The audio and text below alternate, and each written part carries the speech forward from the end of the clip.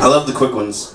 They don't overstay their welcome, as so often mine do. What? Hey, I didn't say it. Everyone else did. Um, so, um, who here has heard of the new little newspaper thing in Manhattan called the Hype Weekly? What's Awesome! it?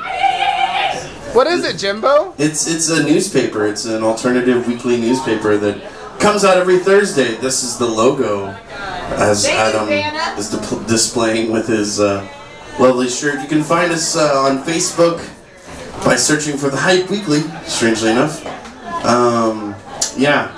So we're doing fun things, and we need people to give us ideas to write about. You can find copies of the Hype over there at the corner of the bar, or upstairs with the doorman, or in Radina's CD Trade Post on the Wild Side. There's about 35 different distribution points in Manhattan, so odds are if you're actually leaving your house, you're going to trip over one. Anywho,